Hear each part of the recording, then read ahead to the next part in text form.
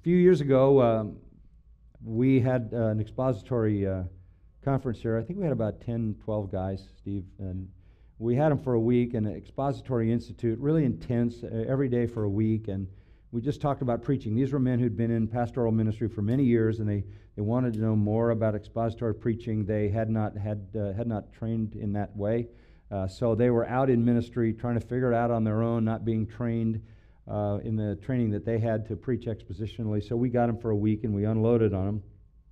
And I was asked to do a message on. Um, the necessity of expository preaching, the mandate for expository preaching, why we do expository preaching. So um, I uh, sat down and uh, got out my little pieces of paper here, and uh, I started to write reasons why you need to do Bible exposition. And I kept writing and writing and writing. And uh, when I finished writing, let's see, I think I remember. I had um, 50 reasons. Finally, I think in, I think I even had more. I think I originally came up with 66, and I kind of refined it down to 50.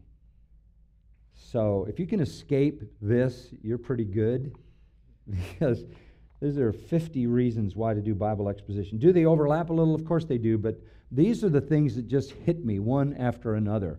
Uh, it, didn't take me any time at all. I, I, think I wrote all, all of these 66 original ones in, in an hour.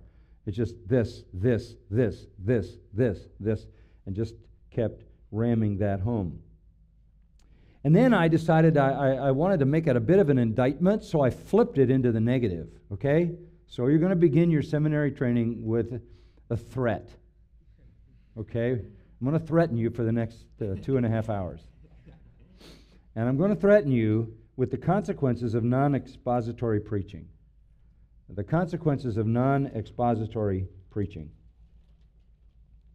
I'm going to be a little Johannine. You know, uh, John loves to sort of cycle through his arguments around and around and around, and uh, unlike Paul, who's very sequential, A to Z, uh, John seems to be going in, in circles, and all of them uh, smaller circles as he digs down and we'll, we'll do a little bit of that. But here are the consequences of failing to do expositional preaching. And uh, let me give you the simple definition of expositional preaching explaining the meaning of Scripture. Explaining the meaning of a passage of Scripture. Now, um, uh, you, you might want to write this down. The meaning of the Scripture is the Scripture. The meaning of the Scripture is the Scripture It's popular today to ask, What does this mean to you? That is an utterly irrelevant question. I don't really care what it means to you. I care what it meant to God, what it means to Him. The meaning of the Scripture is the Scripture. You can have a Bible, but if you don't know what it means, you don't have the message. You don't have the revelation. You don't have the Scripture. And of course, it's obvious that the challenge is to close all the gaps the history gap, geographical gap, cultural gap, linguistic gap, philosophical gap, uh, because, and this is something just obviously foundational, uh, and I, I said it earlier, and I'll say it again and explain a bit. Whatever the Bible meant to the original author is what it means now. People say we need to bring the Bible into modern times. Dead wrong. Dead wrong. You need to bring the modern reader into Bible times. You have to take the hearer back and reconstruct the original setting. That's the only way you can understand the meaning of Scripture. And that, in that one statement alone, eliminates all modern, updated transliterations of the Bible. What you want in a Bible that is in the hand of a believer is the most accurate word for word translation of the original text because that's the purest form of the message, right? Then you have to go back and you have to recreate the setting in which that message was given. That's how it's to be understood because whatever it meant then is what it means now. So many people think that Bible exposition is archaic, unnecessary, out of date, because people don't want to go back into ancient history. That, that, that, of course, is ridiculous. People study history all the time. They read historical books, historical biographies, they watch historical videos, they watch historical films, and um, people can be taken back, and that's your job. You're trying to make an ancient book clear in its ancient meaning. Okay? That's the hard work that the science of exposition demands. Okay, so we do this.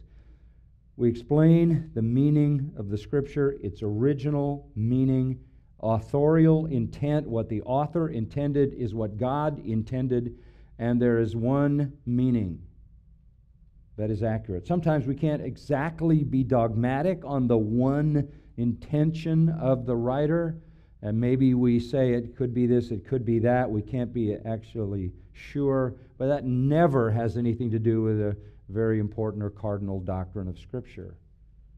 There are things like baptism for the dead. Uh, the, there was a guy who did a dissertation on that and found 40 different interpretations of the statement about the baptism for the dead in 1 Corinthians. Uh, we don't know what it meant dogmatically, but the people uh, in Corinth knew exactly what it meant. That's why Paul didn't explain it. So it's sufficient to say that they were baptizing people for dead people, whatever it means, which is ridiculous because once you're dead, baptism isn't going to help. That's sufficient to interpret it. Now, let me give you these reasons, okay? We'll just kind of wander through these things. If you have a question, don't hesitate to, to ask it. I, I don't want to just keep droning on past the point of your uh, confusion. Okay? Number one, and, and this is the first consequence of non expositional preaching it usurps the authority of God over the mind and the soul. If you fail, if you fail to explain the Word of God, you have replaced the authority of God with whatever else you're doing. It really is a question of authority. Listen to preachers. Do you hear the authority of God in what they say? Do you hear the divine voice? It's a question of authority. Who has the right to speak for God? Only God. Who has the right to define the gospel? Who has the right to, to address the church? Only God. This is where expositional preaching finds its foundation in divine authority. I want God to speak when I preach. I want them to hear from God. Uh, I just would encourage you to know that as a pastor, you have no authority. You have no authority. You have no authority in the church by virtue of your office. There's no such thing as the ruler of the church on earth, Pope notwithstanding. You have no authority because of your education. You have no authority because of your giftedness. You have no authority because of your experience. You have no authority because of your experience. I have no authority in Grace Community Church. I've been here since 1969. I have zero authority to demand or command or tell these people what to do. I have one category of authority, and that is delegated authority given to me when I speak the word of God. God is the dominating authority in the church. When I listen to preachers uh, on, on television, when I listen to the whoever they are, uh, the ubiquitous charismatics or Joel Osteen and the rest of his ilk, these are men speaking their own ideas. This is not the voice of God.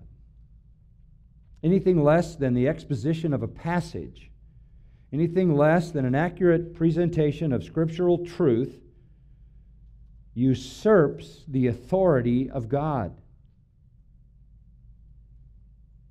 People must hear from him. He alone has authority in the church. Number two, A failure to do expositional preaching usurps the lordship of Christ over his church.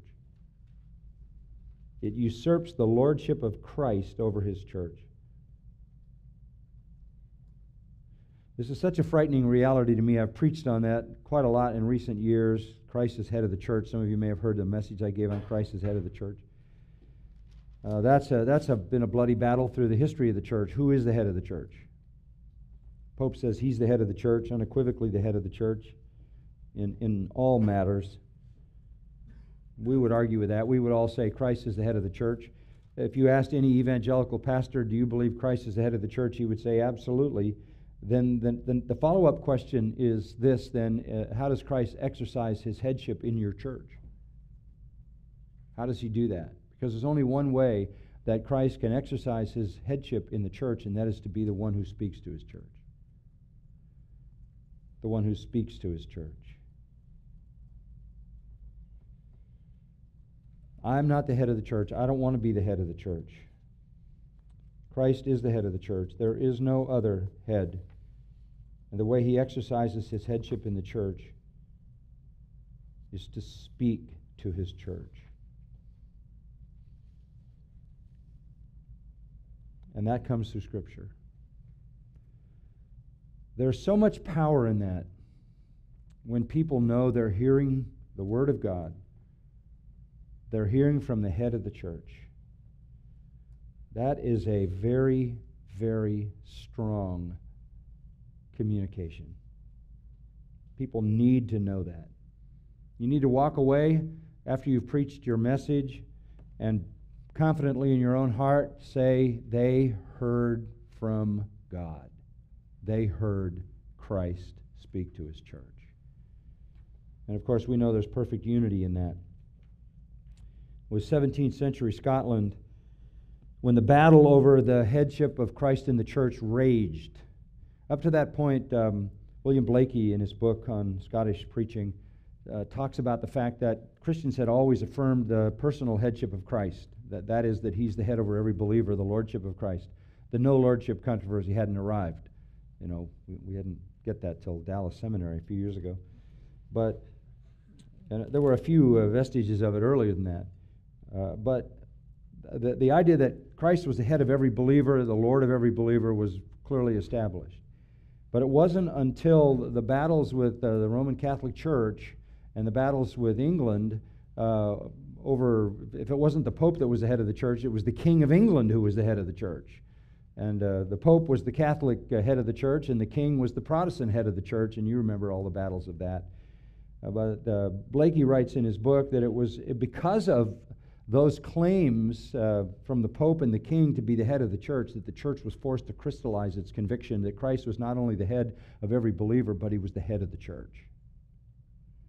And if Christ is the head of the church, the church must hear from Christ. Must hear from Christ. I, I become weary to the point of um, distress listening to preachers give it their own advice to people. When do we hear from Christ? When do we hear from Christ in His church? I don't want to ever be guilty of usurping His lordship in the church. I have nothing to say but that which He would say to His church. And by the way, all that God wants to say and all that Christ would speak to His church is contained in one book, right? That simplifies it, doesn't it? That simplifies it. So we don't have to chase the idea that uh, we need to hear from God, which is popular today. Are you listening for the voice of God? How can you tell when God is speaking? You hear so many preachers say that. That, that started to become very popular with, I think it was Henry Blackaby movement, learning to listen for the voice of God. Charles Stanley bought into that in a mega way and is always telling people to listen for the voice of God. If you want to hear the voice of God, open the Bible, because that's the only place where He has spoken. And you can know that this is exactly, precisely what He has said and what Christ would say to His church. Thirdly, a failure to do expository preaching not only usurps the authority of God and the lordship of Christ, but it hinders the work of the Holy Spirit. It hinders the work of the Holy Spirit. It is the word alone that the Spirit uses as a means of salvation. We are begotten again by the word of truth, right? 1 Peter 1. We are begotten again by the word of truth. Salvation comes by the word. in this article I was glancing at this morning, Iain Murray, my dear friend Iain Murray, says that Bible exposition is a bad way to evangelize. I, I, would, I would disagree with that with all my might. The, the, the only way to evangelize is to use the Word of God because we're begotten again by the Word. Or if you'd like, Romans 10, faith comes by what? Hearing the message concerning Christ. That's the proper uh, translation of the original. Faith comes by hearing the message concerning Christ.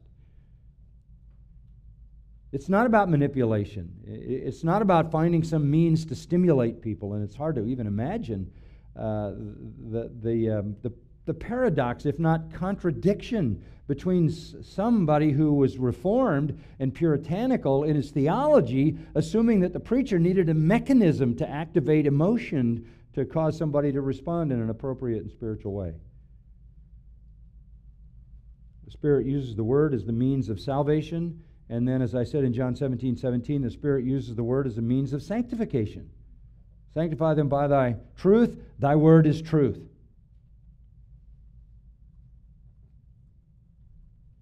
A few years ago, I, I did a message called um, Sanctifying Shepherds. I don't know if you have ever heard that.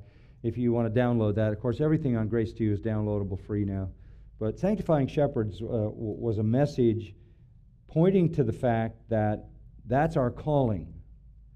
Uh, feeding the flock of God, taking the oversight, uh, being given to the church for the perfection of the saints so that they could do the work of the ministry and the body being built up. We, we're, we're set in the church for the sanctification of the church. And that is accomplished by the Holy Spirit through an understanding of the Scripture. The Spirit uses the Word as the means of sanctification. The Spirit uses the Word as a means of salvation. The Spirit uses the Word as the agency of comfort. The comfort of the Spirit comes through an understanding of the Word. Uh, in, in, the Psalms, it says, I have hope in your Word. I have hope in your Word. I have hope in your Word again and again and again. So, what am I doing? I'm, I'm taking a Trinitarian approach to the foundation of Bible exposition. If I do not do exposition of Scripture in the church, I, I, I replace it with something else. I, I effectively usurp the authority of God, replace the lordship of Christ, and hinder the work of the Holy Spirit. Now, there's a formula for success, right? I mean, that's really a great approach. And yet you have those kinds of things being advocated today. Uh, you don't want to bore people with the Bible. You, you don't want to drone on about the text of Scripture. Uh, people can't handle that. Um, I've been criticized uh, pretty regularly and consistently, not only um, in print and uh, um, open conversation, but even in meetings where I've been uh, questioned in Q&As about why in the world I don't do more illustrations. Why don't, why don't, why don't you do more illustration and application? And particularly one uh, event that I was in, uh, I was asked why all of my preaching is so void of application. And uh, the answer I gave was uh, simply to stay, say, first of all, my job is explanation, the Holy Spirit's job is application. I, I could pick out of the air an application and say, you know, uh, if, uh, you know, if you're beating your wife, stop. Uh, if you're not disciplining your kids, start. Uh, if you're not reading your Bible, do it. You know, if you're watching pornography, don't do it. Um, and that's okay. That, that's okay. Um, but in saying that, I might have just uh, left out 80% of the congregation who aren't beating their wife, are disciplining their children, are reading their Bible, and aren't watching pornography. What I would far rather do is make the truth, the principle of the Scripture so clear that the Spirit of God can take that and no one escapes. This isn't, this isn't a shortcoming. This isn't something that I just forget to put in there. You know, I'm not in the business of transforming people's lives. I'm, I'm not necessarily in the business of motivation. I'm in the business of clarity. Clearly proclaiming this is the Word of God, this is the message of Christ, this is the truth the Spirit will use to save and sanctify.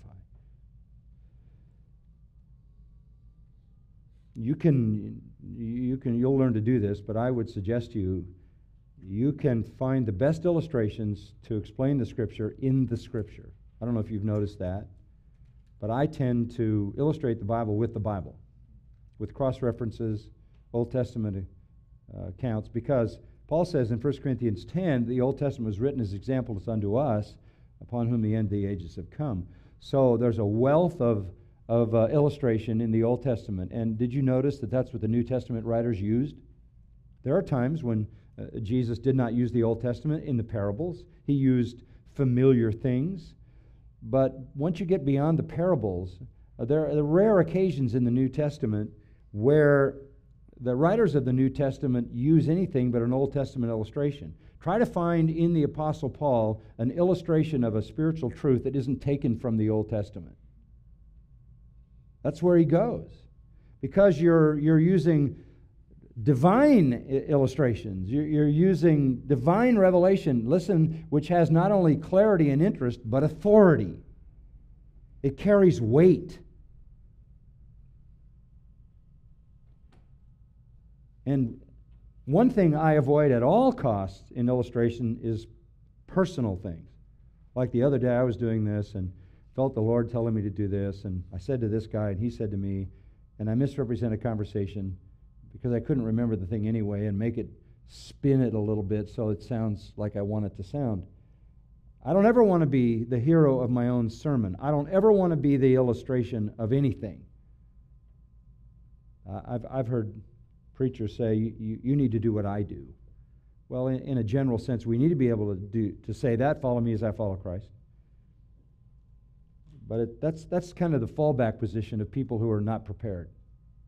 They just grab something out of their mind, and if and they yeah, you tweak it a little bit, misrepresent it a little bit, becomes a fish fishtail because you're you're unprepared. So learn to uh, to illustrate the truth of God with the Word of God, and then the whole package comes with this divine sort of Trinitarian weight. Okay? And there could be a lot more said about that, but if I said nothing more than that, the mandate is established. You, you, God does his work, Christ accomplishes his purpose. The Spirit changes people through the Word, through an understanding of the Scripture. Through an understanding of the Scripture. And if I, if I might add one other dimension to that, and this is something that I've learned through the years. The most motivating, the most motivating force in the life of our congregation, the most motivating force in this church, and I say this after all these years since 1969, is love for Christ. That's the driving force in this church. And so the more you exalt Christ, the more your people will love Christ. The more they love Christ, the more they want to honor Christ. Preach Christ, right? Paul says, I'm determined to preach Christ, Him crucified, to know nothing among you except Christ. Everywhere he went, it was about Christ. Lift up Christ, He'll draw men to Himself. There's a reason why uh, the, the Old Testament speaks of Christ. The four Gospels speak of Christ. The book of Acts is about preaching Christ. The epistles explain the work of Christ, the person of Christ. The book of Revelation presents the coming of Christ in all his glory. He is the theme of Scripture. You can never preach Christ too much. He is the most compelling force in the life of a believer. As I was saying yesterday morning, uh, it's about loving Christ, and that love increases as the vision of Christ becomes more clear through Scripture let's see, two years in the Gospel of John, uh, which I may redo because I think I need to give more time and attention to the detail. two years in the Gospel of John, eight or nine years in the book of Matthew, ten years in the book of Luke, and uh, two years in the book of Mark. So, right there, you have over 20 years going through the Gospels, step by step, piece by piece. Two journeys of several years through the book of Revelation, trip through the book of Hebrews. Um, the book of Romans is about Christ and the glory of his, of his sin bearing sacrifice. I just went through Isaiah 53 uh, 10 messages on Isaiah 53, and it, Christ just shines in majestic beauty through Isaiah 53. And I told the people, now I'm going to do the Old Testament, and we're going to find Christ in the Old Testament. So, whatever time I have in the future, I want to focus on Christ in the Old Testament. He's the main theme. The Road to Emmaus series, you know, beginning at Moses and the prophets and all the holy writings, he spoke of the things concerning himself. So, where did he go? Uh, well, there are lots of places. I started at the pinnacle, Isaiah 53, but there are plenty more starting uh, in Genesis 1 1. That's the first place Jesus appears in the Old Testament. Uh, in the beginning, God created, and John 1 says that nothing was created without him. And it's about Christ from then on till the end of Malachi, when the forerunner to Christ will come and, and the Messiah will follow. So, you know, I, I I, I cry out in my heart about certain preachers that I watch on television. I just say, preach Christ. Please preach Christ. How can you possibly not preach Christ? How can you possibly not explain the meaning of Scripture?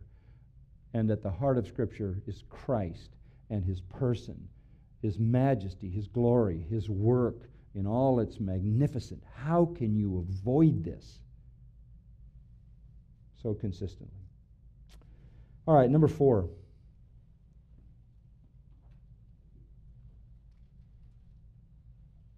A failure to do expositional preaching demonstrates pride and a lack of submission to Scripture.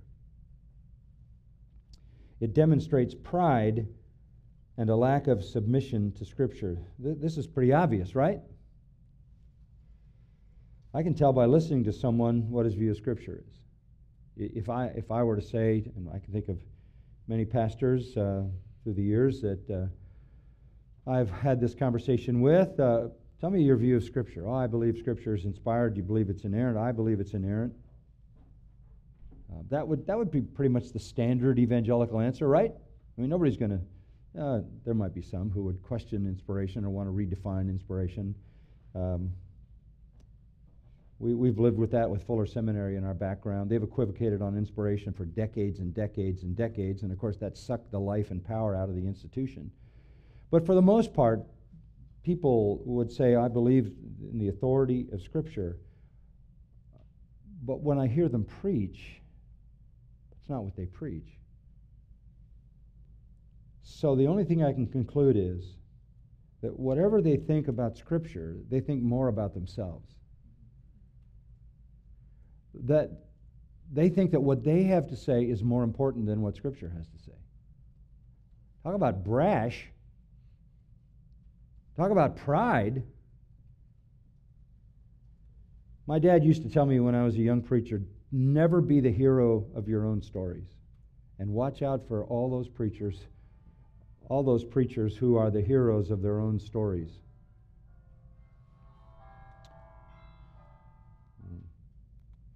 Who that is? I don't always know how these work. Maybe that's the break bell, huh? But watch out for men. Watch out for preachers who are the heroes of all their own stories. Um, I don't ever want to preach the opinions of John MacArthur. I just want to preach the truth of God, and there's only one way for me to do that, and that's to do the due diligence I need to do to explain the meaning of Scripture as accurately as I possibly can. And I just want to encourage you guys that it's, uh, it, it starts with your view of Scripture. If you were to back me to the wall and say, What's the most important thing that you believe? What is, if, if you were to ask me what is the one doctrine that is the most important doctrine in your panoply of convictions, I would tell you this the authority of Scripture. That has to be it. Because if I equivocate at all on the authority of Scripture, then anything in the Scripture is up for grabs. The most in, important doctrine that you will ever hold is your conviction that the Bible is the Word of God. And if you don't believe that, you'll never be able to motivate yourself to the disciplines of exacting out of that Scripture what it teaches.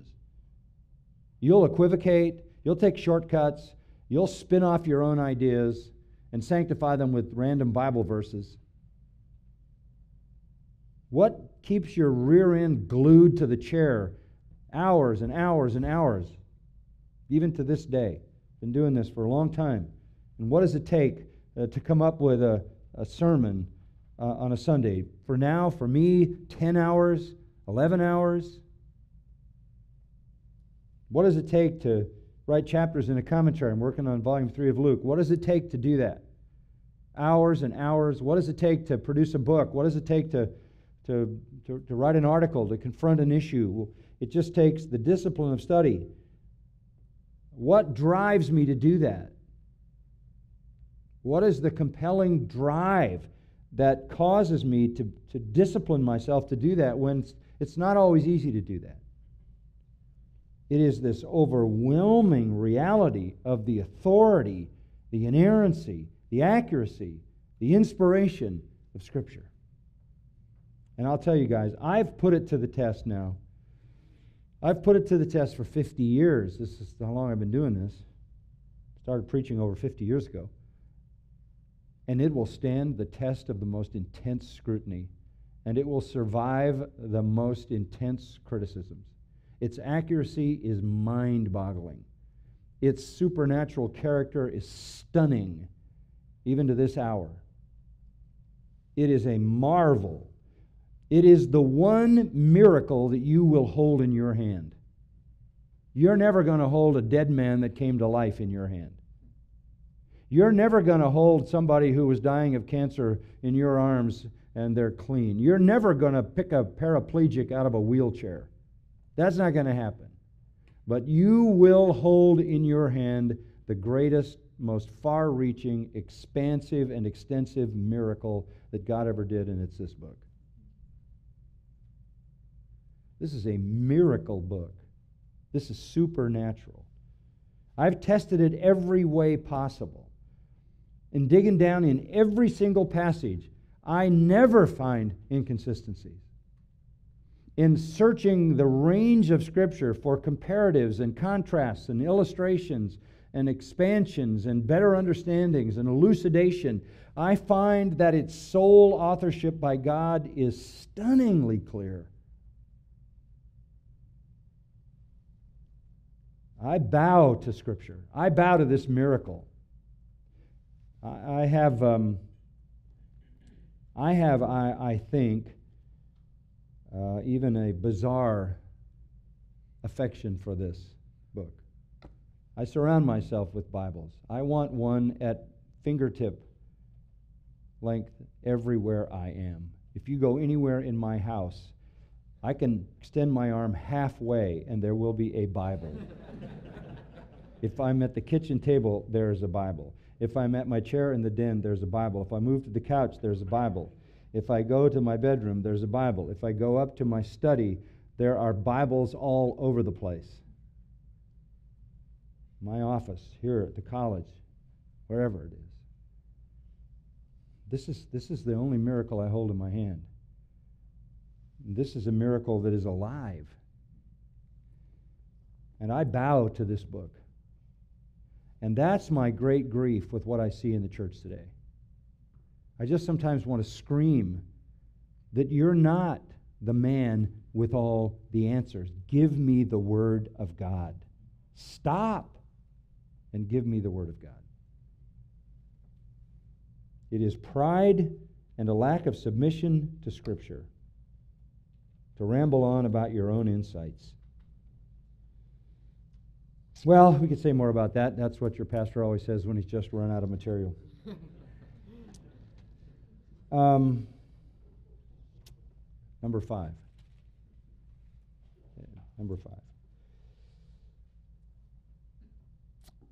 The consequence of non expositional preaching let's put it this way it severs the preacher personally from the regular sanctifying work of Scripture. Did you get that? It severs the preacher personally from the regular sanctifying work of Scripture. What I mean by that is if you're not an expositor, you're not in the study of the book. And you have just been cut off from its sanctifying power in your life. And let me tell you something you put yourself in a dangerous spot. Look, as we said from James, you, you don't want to be a teacher unless you're ready to, to face the music. Stop being so many teachers, theirs is a greater condemnation. I mean, if the enemy could bring down anybody in your church, who would it be? It would be you. To discredit you is to discredit everything. That's a favorite strategy of Satan. We all understand that. Your sanctification is critical for the integrity of the gospel and the church and its testimony. Look, we, we all are sickened by uh, the, the immoral pastors, aren't we? Sickened by them, or the money hungry ones, or those who uh, assault little boys. I read about another one in the LA Times recently. He was molesting young men in his church here, church that bore the name of Christ. So, how do you protect yourself from that? You, you think you, are going to do that just because you went to seminary? You think you're going to do that just because you're a pastor? No. What, what is going to sanctify you? Well, what's going to sanctify you is the only thing that sanctifies anyone, and that's the work of the Word in your heart. So I, I would say to you, look, I'm no different than any person. Uh, I'm, I'm as human as anybody else with all the impulses that anyone has that's human. I, I'm sure I've been a target.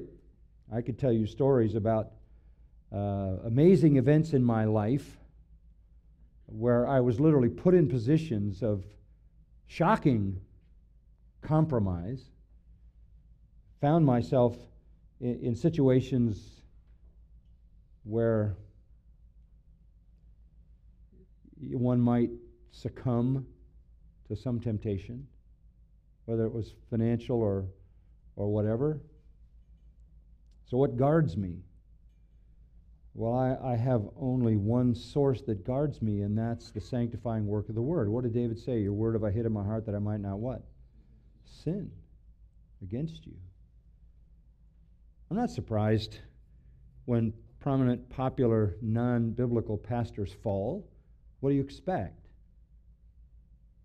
It's inevitable when they're corrupted, uh, if not morally corrupted, you know, in the sexual area, where they're corrupted in uh, the financial area, which nowadays is uh, okay.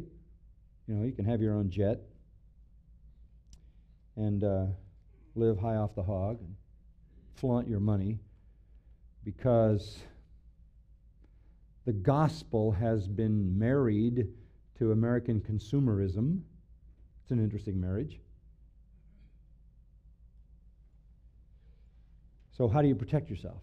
I, I would say if, if I never preached a sermon, I would thank the Lord forever for the life that I've been able to live every week of my life studying His Word. If I never preached a sermon because of the sanctifying work of the Word in my life. Can I tell you the benefit of it? Four children that love Christ, who married four who love Christ, 15 grandchildren who love Christ and profess Christ all the way down to nine years of age all of them in our church, all of them, I'm baptizing my way through them down the ranks. Why? Because there's a confidence that what Grandpa preaches is what he really believes, and it's the truth. And it's undergirded by a mass of people at Grace Church who have influenced their lives. What makes for a happy old age? That. The grace of Christ manifest and visible in the people who are most intimately connected to your life. I hate to hear stories about pastors who lose their kids uh, to the world and, and to Satan. I mean, it's a heartbreak. It's a terrible tragedy.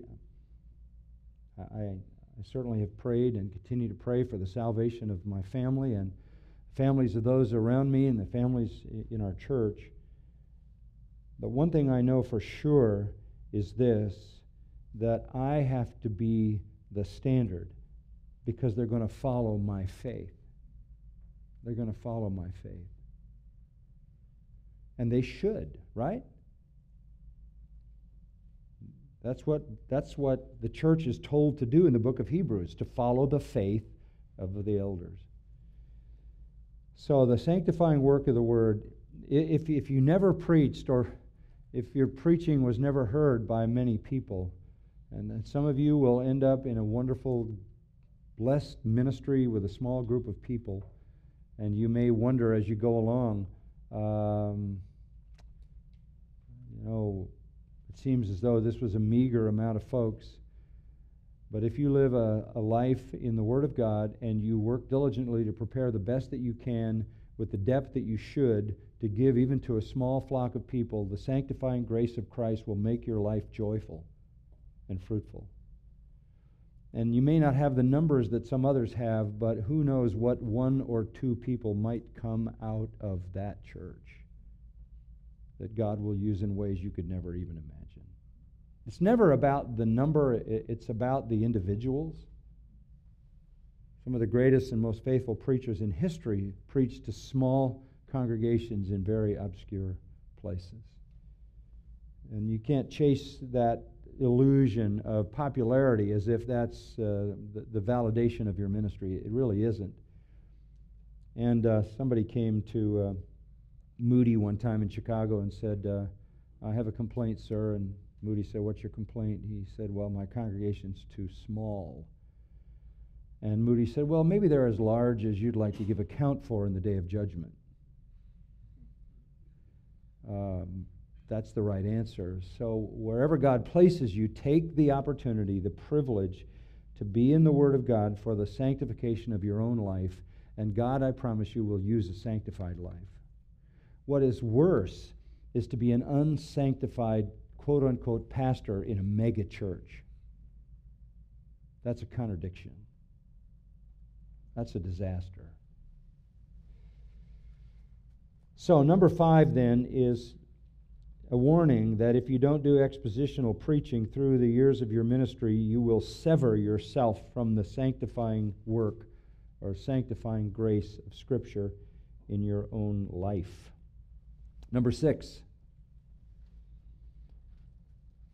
a failure to do expositional preaching, and this is a very important one, removes spiritual depth and transcendence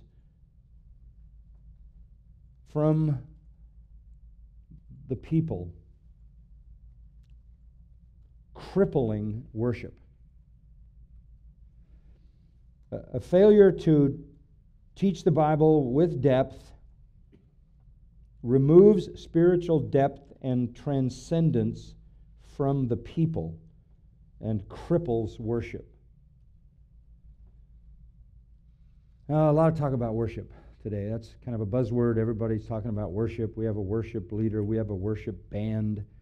Um, if you were to look at it and take a kind of contemporary uh, interpretation of worship, worship would, worship would be what a group of people do musically on a stage.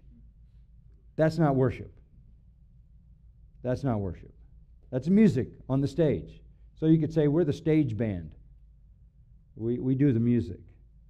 Worship is something else. And let me just give you a little principle to kind of work with.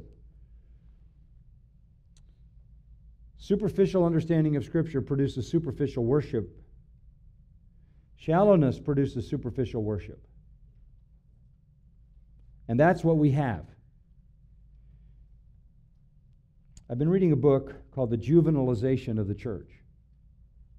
Interesting book, The Juvenilization of the Church or the juvenilization of Christianity, actually, is the title. Juvenilization of Christianity. You're living in a time when junior church has taken over. I, I grew up uh, in an era when uh, we had what was called junior church. When we were in the fourth grade and fifth grade, we went to junior church. Well, we now have junior church in the auditorium. That's right. It's, it's designed for elementary kids or junior hires. You know, the preacher gets his clothes from Abercrombie and Fitch, tries to look as much like a teeny bopper rock star as he can. The music is the kind of music that appeals to the junior high kids and the high school kids. And so we have the juvenilization of the church. And what we, what we like to say here is if you come to Grace Church, we do adult church. We do adult church here. We think deeply, reverently.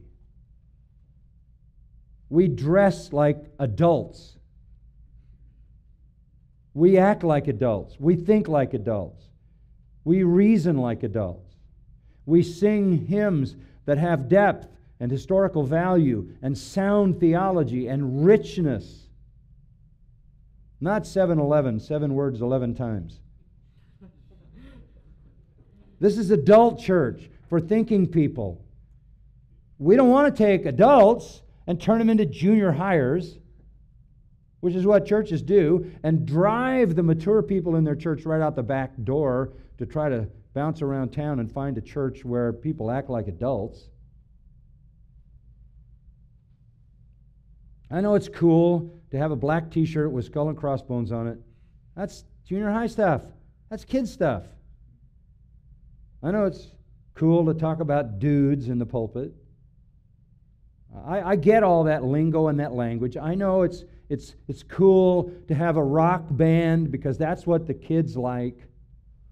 This book, The Juvenilization of Christianity, traces the juvenilization of Christianity from, the, from World War II, the 1940s, when uh, the churches decided that we had to save the country. And the only way to save the country was save the teenagers because teenagers were starting to develop a culture. So along came Youth for Christ, and they created sort of teenage church. Then came Young Life, which was a sort of less uh, gospel oriented version of Youth for Christ. And they had teenage church, and then came youth ministry, and then came bouncing volleyballs and beach parties and hoopla, and that's the era that I kind of grew up in. And that's come all the way to the point now where it's taken over the main church, and now the main church looks like a junior high rock concert. The juvenilization of the church. We don't think deeply, we don't think historically, we don't think theologically. It's all about a feel good experience and a mosh pit kind of environment. Think carefully now when you think about how you conduct your worship in your church. And I will tell you this that is a dead giveaway that the theology is superficial because superficial theology leads to superficial worship. Immature juvenile theology leads to immature juvenile expressions. That's what I'm saying. When you take your people down deep into the Word of God, when they go down deep into the Word of God, that depth of the Word and the depth of their understanding of the Word leads correspondingly to a transcendent expression of worship. You can't get away with that kind of stuff here because our people think too deeply, too reverently. Their understanding is too rich and too full and too lofty. They, they, if, if you don't let them sing great hymns, if you don't let them hear Bach, if you don't elevate them with Handel, they're, they're unable to worship at a level that their understanding takes them to. So that's, that's one of the benefits of of preaching that is profound. I don't mean by that that it is obscure, but that it is profound, that people are grappling with, at what Steve likes to say, the gravitas of divine truth. And you, you, can't, you can't deal with them in expressions of that on a superficial, shallow way. I can walk into church and I will tell you in five minutes by what I hear what the level of that maturity is.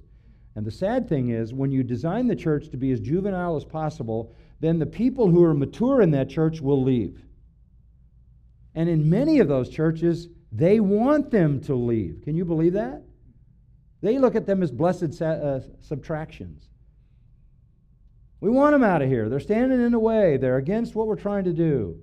This is the 1945 effort to reach the uh, now increasingly uh, self defined youth culture gone to seed at its worst level, and now it's taken over. So now you have, for example, uh, look at Mars Hill Church with Mark Driscoll. Is that, is that spiritual maturity? Is that spiritual depth? Is that profundity? Is that elevation? Is that gravitas? Is that seriousness? Is that reverence? Is that a sense of the holiness of God? No.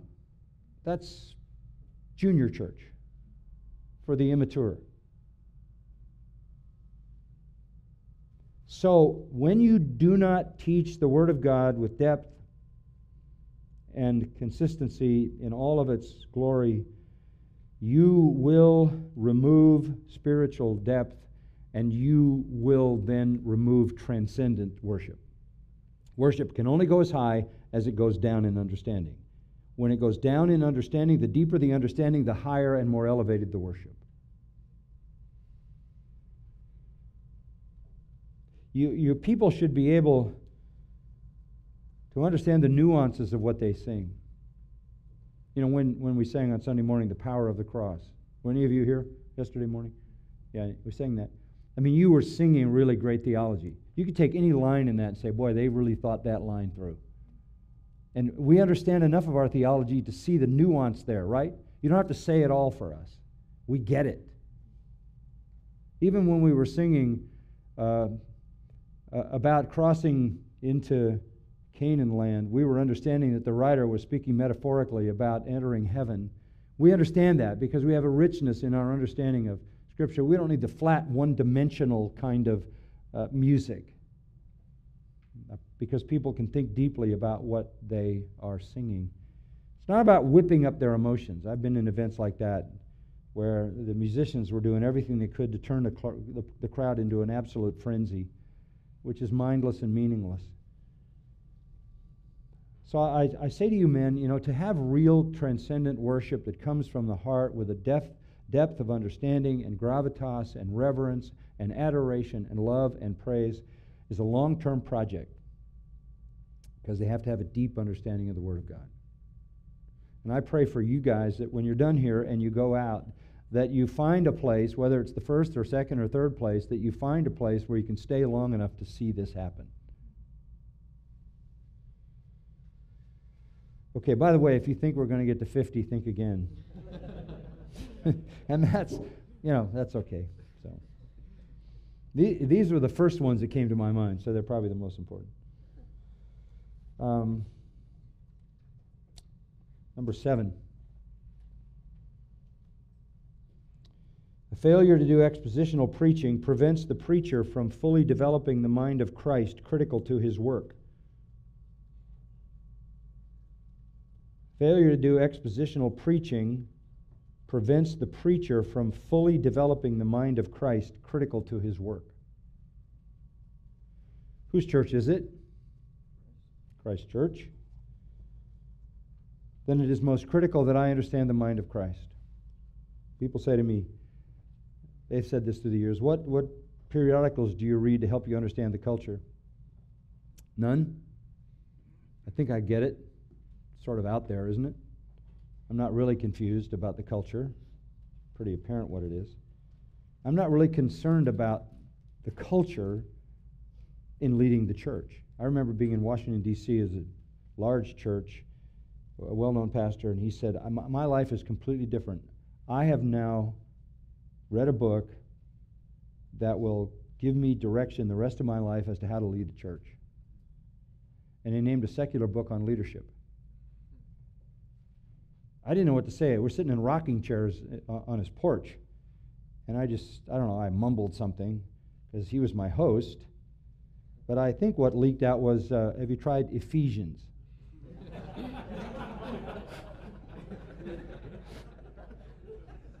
Maybe there might be a few suggestions there. What are you talking about? Stephen Covey has nothing to offer the church. Tom Peters has nothing to offer the church. No secular book has anything to offer the church. Look, I have to be, I have to be the representative of Christ in my church, right? I'm, I'm an under shepherd of Christ. True? So all I want to know, all I want to know, one thing I want to know, what is the mind of Christ concerning his work, his church? What does he want for his church? What does he want his church to be? You know, this was a frustration for me when I was in, and I'll stop and we'll take a break. Uh, I was frustrated in seminary because uh, My dad was a pastor, but the way the church churches that he was in, when he was in Baptist churches, I, I knew that the way they were organized was fraught with problems. I didn't always know why as a kid. Then I uh, saw him start a church, and he, he organized that church in a way that uh, had nothing to do with the Scripture. He was a wonderful, faithful, precious father to me, and a faithful preacher of the Word, and a consistent man of integrity. But it just seemed like it was kind of willy nilly when you sort of put a church together. And then I went away to seminary, and I, I went to Talbot Seminary, and I, I, I heard various approaches. We had professors who were from the Grace Brethren Association, and we had professors who had a, a sort of a eh, kind of a Baptistic background, and there was some Presbyterian influence, and sort of all canceled out in my mind. I, I just I couldn't figure out how to do church. So I began when I was in seminary to study, and I, I just chased around everywhere to try to find a book that I could kind of lean on and give me some guidance. And I found a funny little self published book called The Order for Church and Missionary by Alexander Rattray Hay. You won't find it. it. It, was some self published thing, and it was so badly done that, that, that the sections of the book were in the wrong place. So it went from page 34 to 180, and you had to, and some of it was upside down. So I, I went, that is a very familiar book to me. So I started to read this thing by this Plymouth Brethren guy named Alexander Hay on the, the New Testament order for church and missionary. And I began to discover, first of all, in his book, that there was a New Testament order. That Christ had given order for his church and established it in the New Testament. And then it became my goal and my purpose to discern that down to the finest point that I could find. And so I said, I'm going to start in the New Testament where the, the message concerning the church begins. And where does the message directly concerning the church begin in the New Testament? Matthew 18, tell it to the church. So I said, well, here's something very clear. If there's sin in the church, you go to the person. If they don't repent, you take two or three witnesses. If they don't repent, you tell the whole church. If they don't repent, you throw them out. So I remember this was right after I came to Grace Church. That's what we're going to do. And I kind of tested that idea with a few pastor friends, and they said, you, will be out of there in months. You can't do that. No one ever heard of a church that did that. Did, did you hear me say that? No one ever heard of a church that did that. I had never heard of a church, and I've been raised in a church. My grandfather, my father, pastors, they were in associations of, of churches. I never heard of any church that did that. None. They said, You'll empty the church. You can't do that. You can't confront sin. You can't tell your people that if they see another believer in sin, they have to go to that person, confront the person, and if the person doesn't listen, they have to go get some people to gang up on them and then come and tell the authorities, and the authorities in the church, the leaders, the pastors of the church, tell the whole church. I said, but this is what Christ said. This is not this is not optional, right?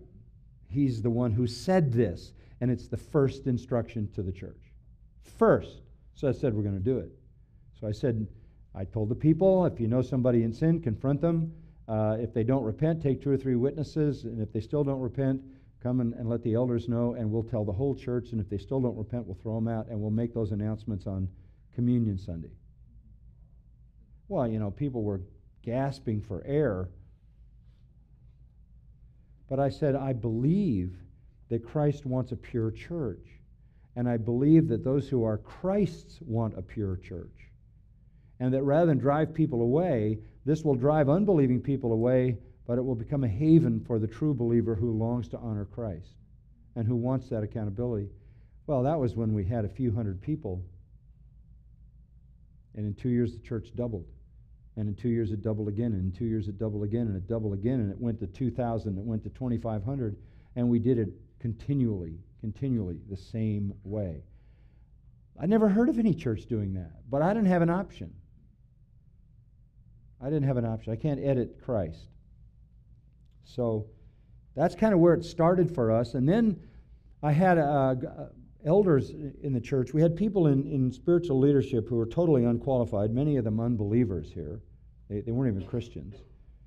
this church had started as a Methodist church with a, a doctrinal statement about charity and nothing much else.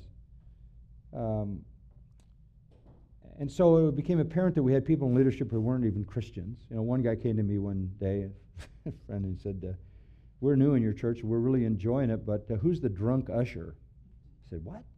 Yeah, the guy over by the he's he's drunk every week. He's happy. He's loving it, and knocks us over with his alcohol breath. And so we had a lot of issues like that. Uh, he was right. That actually was going on.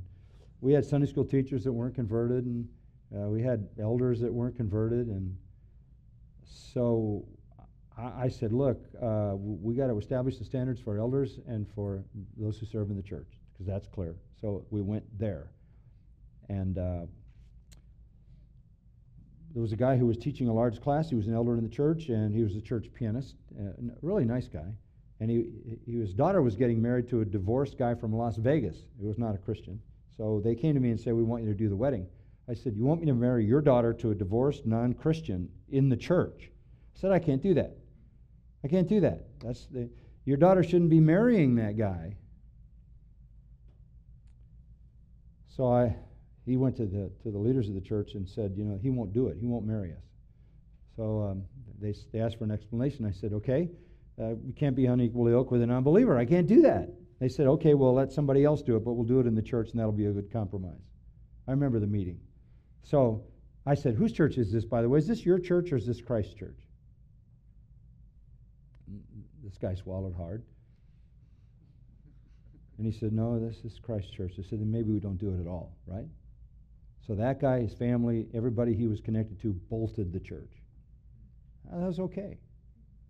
A bunch of the unconverted elders got mad at me and left, and we were on the way. But you know what I was doing was just drilling down into the Word of God and finding out what Christ wanted in His church, and we've just tried to do that. We still try to do that to this very hour. And that demands some hard work. Now, you all know way more than I did. I'm discovering this as I'm doing it.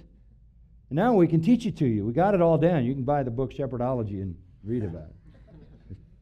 Or pastoral ministry or whatever, because through the years we've you know, it, it's, it's fascinating to me. You, you understand the history of the, what we call the progress of dogma, the, the progress of doctrine, that historically there are eras in which doctrine is crystallized. You know, it starts out with Trinitarian controversies and Christological controversies and gospel controversies, and, and eventually, you know, uh, it, it gets to things like ecclesiology. And you know, the reformers didn't get that right for the most part. And that's, that, that, that I think, even uh, uh, in a more modern era, has finally become crystallized in maybe the last 20 or 30 years what a biblical ecclesiology really looks like. Uh, and in all honesty, it has contributed immensely to the independent church movement because there are no such things as denominations in the New Testament. There's only local assemblies. Uh, we, uh, we hope that guys will finally get on board on the eschatological side of doctrine, wake up and embrace uh, pre-millennialism. I'm, I'm working on them. I'm trying to inflict as much pain on them as I can. but in the progress of dogma, I've, I've lived through this era when I think a biblical understanding of the church has taken shape, and, and I'm grateful for that. And there are lots of other guys that have made a great contribution to this, not the least of which, but maybe at the top of the pile in many ways, is my friend Mark Dever, who has, with his Nine Marks ministry, really gotten serious about the nature of the church and making it as biblical as it can be. Uh, that solves a lot of problems because there's integrity in that. if your message about the gospel is accurate, but you're indifferent about what Christ wanted in his church, you got you, you, you got a split personality going there. So, so it's important then to uh, dig into the Word of God, teach the Word of God, not only for your own understanding, but for the understanding of the people. How are you going to do? How are you going to bring them to a to living out a biblical ecclesiology if they don't understand it? So you have to teach it to them. Don't be in a hurry to do that. Uh, be patient with them because um, sometimes when you go into a church, things aren't the way they should be ecclesiologically. And if you just try to overturn and change everything immediately, you're going to get yourself thrown out of there. So be very patient. Um, you want to know what Christ wants in his church, and you want his church to be the way he wants it to be.